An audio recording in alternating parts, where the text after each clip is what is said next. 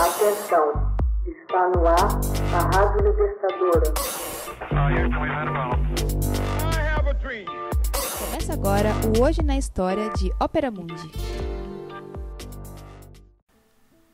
1962 Marilyn Monroe é encontrada morta em Los Angeles.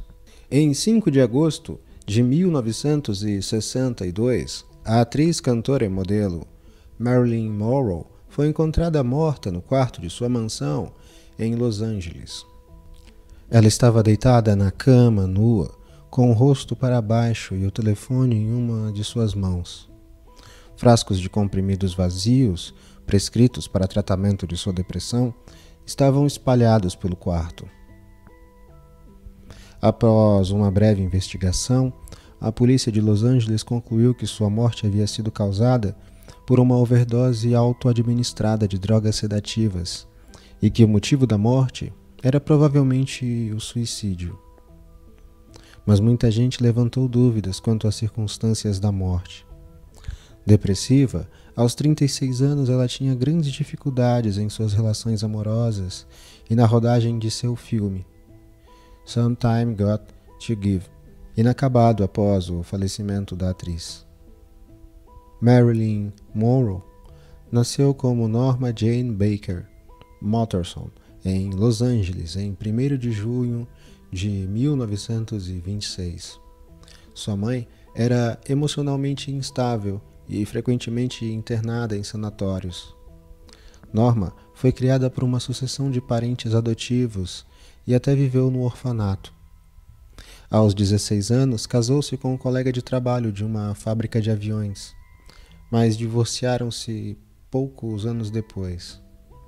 Tornou-se modelo em 1944 e em 1946 assinou um contrato de curto prazo com a 20th Century Fox, adotando então o nome artístico de Marilyn Monroe. Teve algumas pequenas participações retornando à função de modelo, pousando nua para um famoso calendário em 1949. Começou a atrair a atenção como atriz em 1950, depois de atuar em papéis menores em O Segredo das Joias e A Malvada.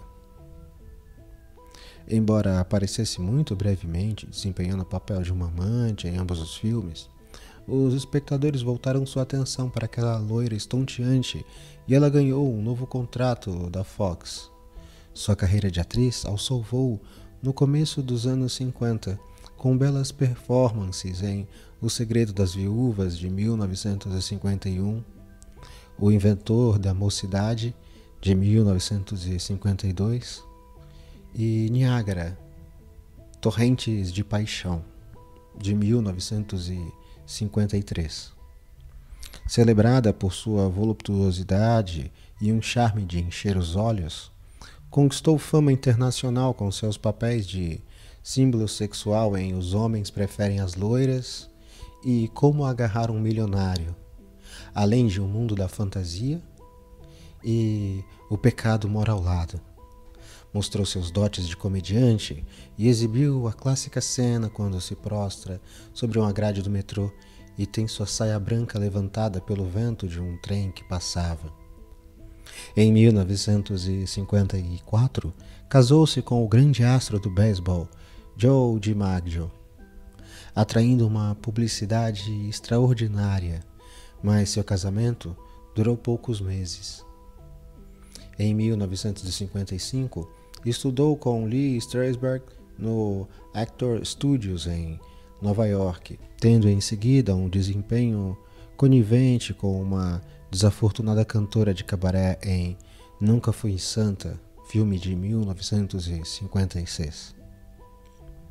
Em 1956, casou-se com o celebrado dramaturgo Arthur Miller e fez o filme O Príncipe Encantado, que foi um fracasso comercial e de crítica, com o grande ator inglês Laurence Olivier em 1957 e em 1959 teve um desempenho aclamado em todo o mundo com a comédia Quanto Mais Quente Melhor.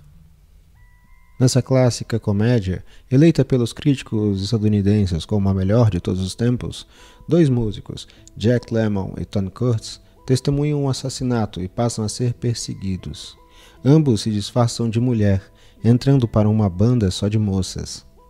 Marilyn Monroe ganhou o Oscar de melhor atriz e o filme o Oscar de melhor figurino e os Globos de Ouro da categoria comédia ou musical de melhor filme. Melhor ator para Jack Lemmon.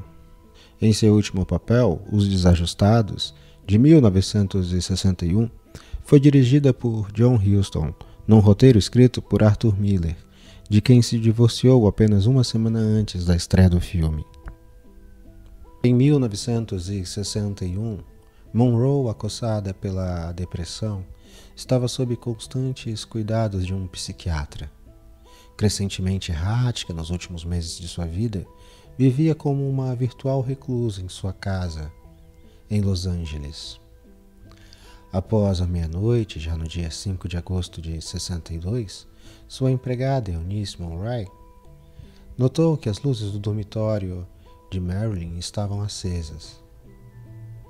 Quando Eunice, encontrando a porta do quarto fechada e Marilyn não respondendo aos seus chamados, telefonou para o psiquiatra da artista, Dr. Ralph Grinson, que conseguiu entrar no quarto quebrando a vidraça de uma das janelas.